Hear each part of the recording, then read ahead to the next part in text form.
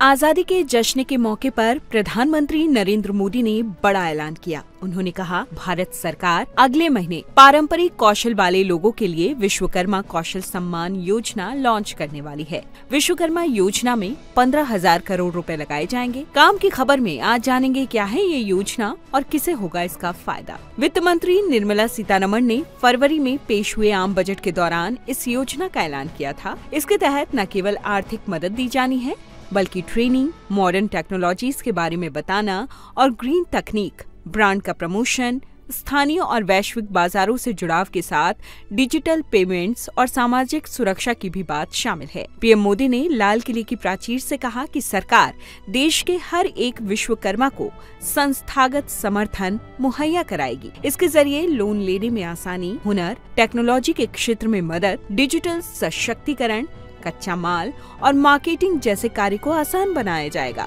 इसका फ़ायदा बढ़ई, लुहार, मूर्तिकार राज मिस्त्री और अन्य कारीगर जैसे कई वर्ग को मिलने वाला है।